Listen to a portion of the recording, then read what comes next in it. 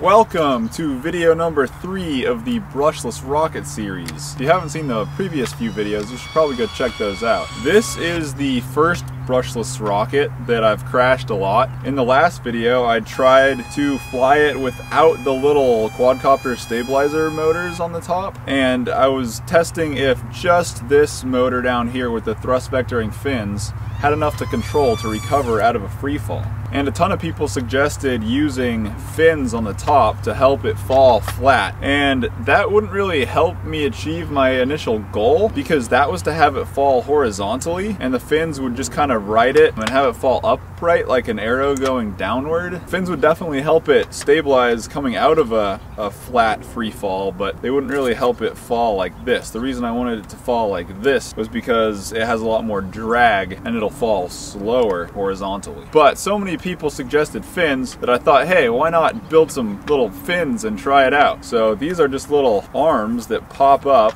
as the rocket starts to fall back down, they should pop up and cause some drag and hopefully cause it to fall right side up. Now this isn't really going towards the goal of the project in the long run, which is to go super high, but this is what makes the project so fun. Testing out little control systems and thruster motors and fins and thrust vectoring and stuff like that. So I thought, hey, let's give it a shot.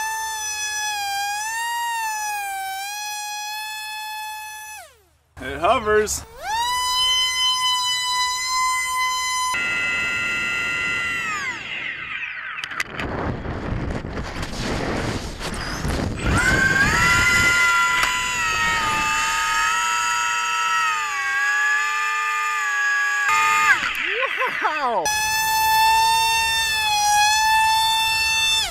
Oh my god, we're being attacked. That is a large herd of gooses and I just heard a piece of poop land somewhere around me as if there isn't enough goose poop already in this field. I probably just need a lot more surface area here or a lot larger fins to give it enough parachute effect to keep the top up because there is quite a bit of drag down here. Another interesting thing is that these fins are moving opposite in the direction that they would need to to stabilize the rocket from the air coming up so that certainly doesn't help. I would have to somehow reverse the servo direction in the air, which would be difficult. Might help if I moved the battery even further down, but I don't really have a lot of places to mount it down in there. Maybe I'll try and move it right here and just kind of tape it on. But I've got a few more packs, so let's try it again. I just velcroed a little three cell battery onto there and I moved it down a bit, so we'll see how that helps. The center of gravity of the aircraft is right on the battery, so to give you some perspective, it's pretty far down. So it's pretty surprising that the thing can even track straight so well going up.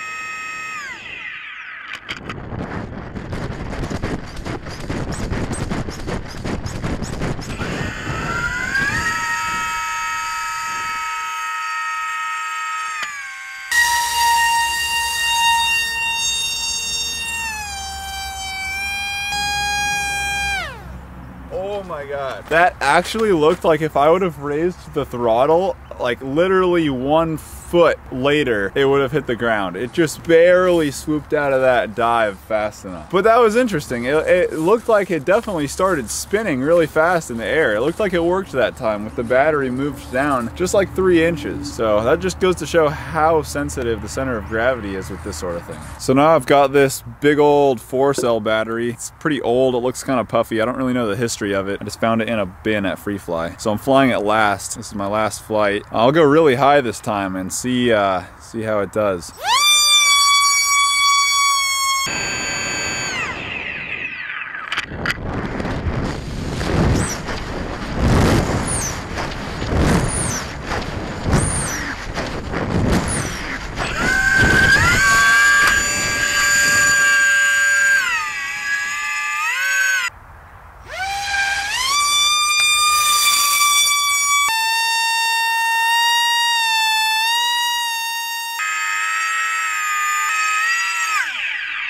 Is so noisy. Wow. That motor just absolutely screams. The battery definitely was fine. The motor doesn't seem too warm. So I kind of want to try a six cell battery. This is a four cell. I just bought a little 1300 six cell. So I might go get that and then come back here later this afternoon and try it again. Then it'll really scream. But that flight was pretty amazing too. I also just kind of barely pulled out of the dive with enough altitude. Successful, a successful launch and landing of the pseudo rocket. It's so cool! This project is just so fun. I would recommend that all you armchair engineers out there go build your own because just messing around with little control systems and dynamics and stuff like that, oh, it's just great. We got this fat six cell 1300 milliamp hour battery. I want to put it somewhere in here. Well, first we got to see if it even works because I don't know how many cells this ESC can handle. I just found it in a bin at FreeFly. It might only handle four cells, so it might blow up when I plug this in. So, ah, that sounded good. Yeah.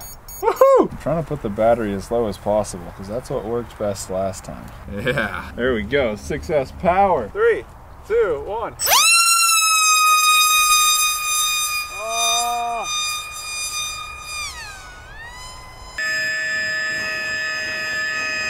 It's too much thrust. Okay, I'm falling.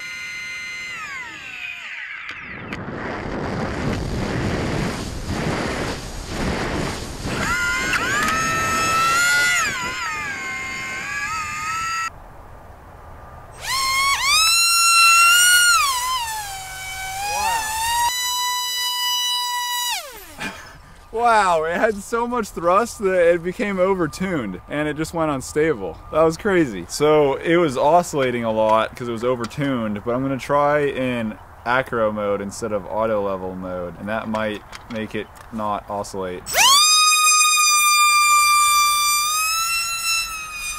Oh, no, still does it.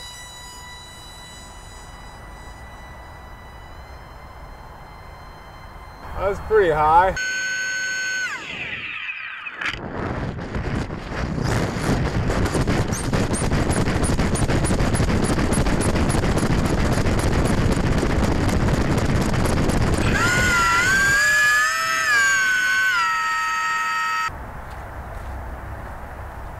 Like a helicopter.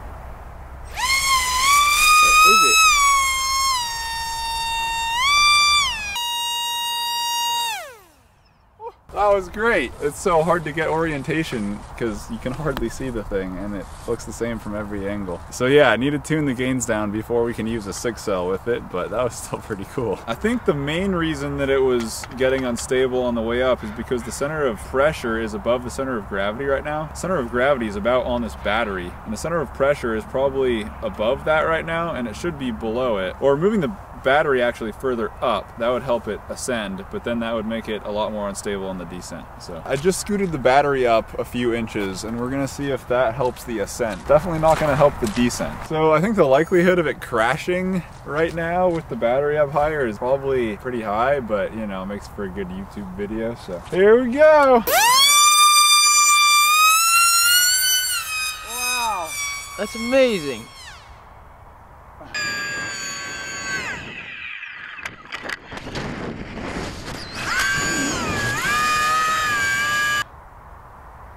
Wow.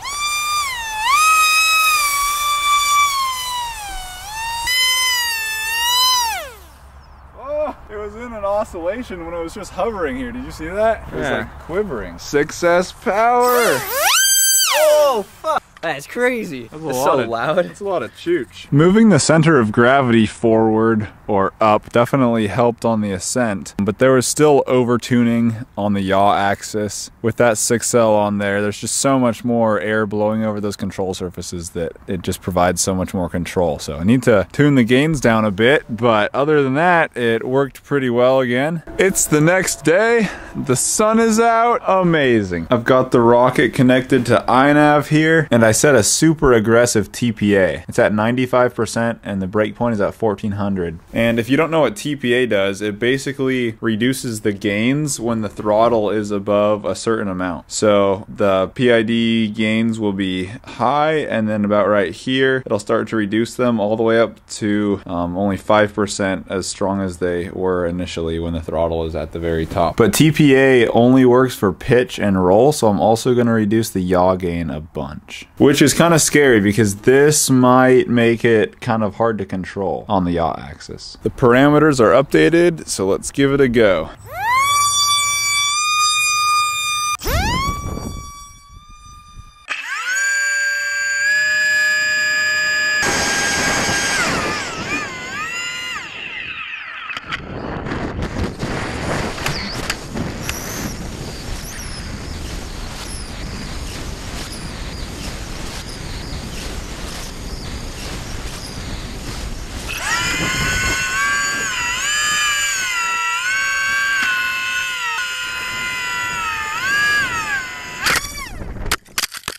That was crazy.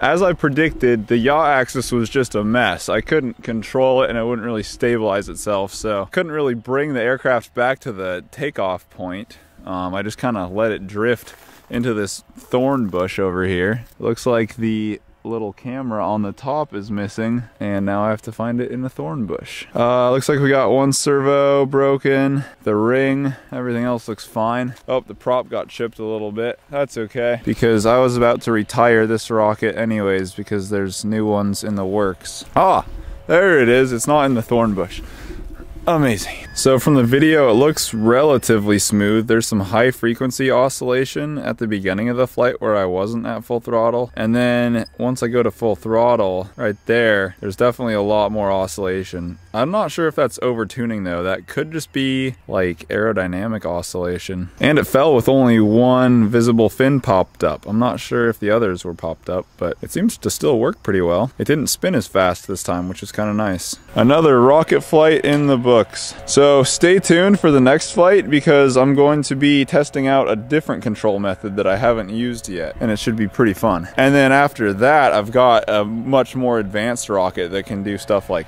GPS positioning and potentially even solid rocket fuel motors. So stay tuned. Thanks for watching. Bye.